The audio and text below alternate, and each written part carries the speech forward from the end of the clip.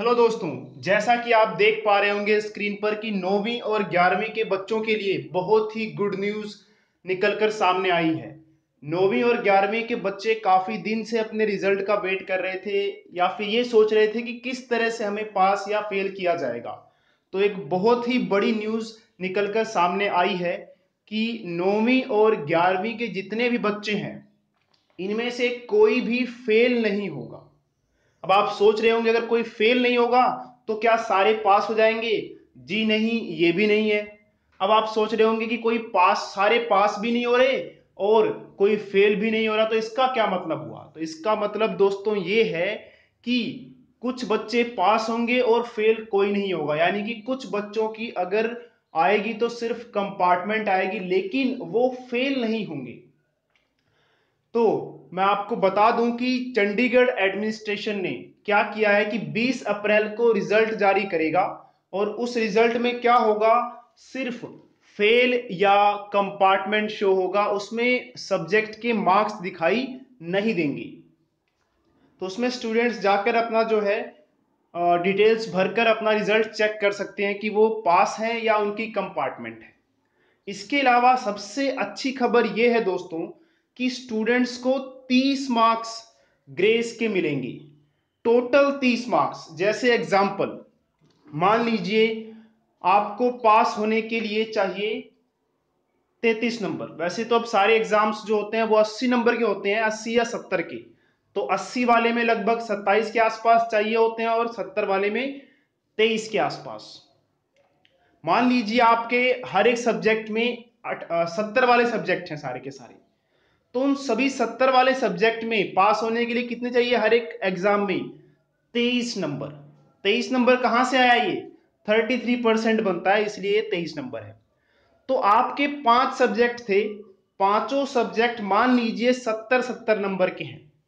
और आपके नंबर आए हैं तेईस से ऊपर सभी सब्जेक्ट में तो तो आप पास हैं। लेकिन आपके मान लीजिए हर एक सब्जेक्ट में कितने नंबर आए हैं? अठारह अठारह नंबर आए हैं। तो टोटल आपको तीस मार्क्स ग्रेस के मिलेंगे। तीस को इन पाँचों सब्जेक्ट्स में डिवाइड कर सकते हैं। यानी कि पहले सब्जेक्ट को पाँच नंबर दे दिए तो अठारह प्लस पाँच, तेईस हो गया। पहले में पास हो गए। दूसरे में भी आपके अठारह थे, उसमें भी पाँच दे दिए, तेईस हो गए आपके, उसमें भी आप पास हो गए।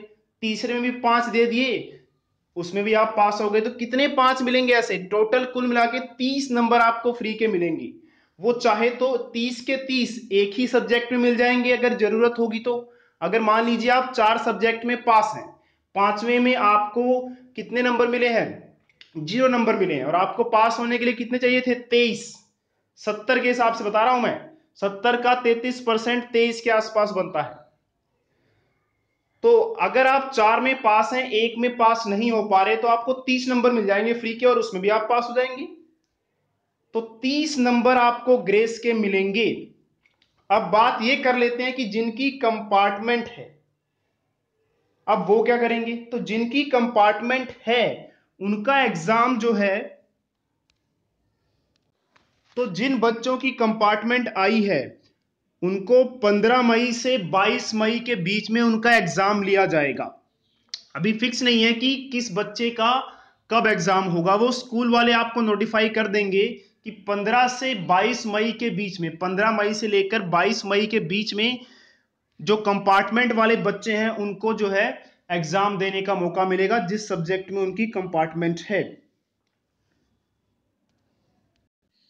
तो गवर्नमेंट स्कूल्स खुलेंगे, अगर खुलते हैं तो अभी हम कुछ कह नहीं सकते कब खुलेंगे, अगर खुलते हैं तो जैसे तीन मई के बाद लॉकडाउन खत्म हो जाएगा और अगर स्कूल्स खुलते हैं तो कंपार्टमेंट वाले बच्चे 15 मई से लेके 22 मई तक अपने एग्ज़ाम्स दे सकते हैं। तो ऐसा पहली बार हुआ है चंडीगढ़ में कि एक भी बच्चा नौवीं और ग्यारहवीं का फेल नहीं हुआ। तो 30 मार्क्स ग्रेस मिलने की वजह से मुझे आशा है कि काफ़ी बच्चे जो है एग्ज़ाम्स को क्लियर कर लेंगे और बहुत ही रेयर बच्चे होंगे जो कंपार्टमेंट लाएँगे और कंपार्टमेंट लाते भी हैं तो दोस्तों डरने की ज़रूरत नहीं है।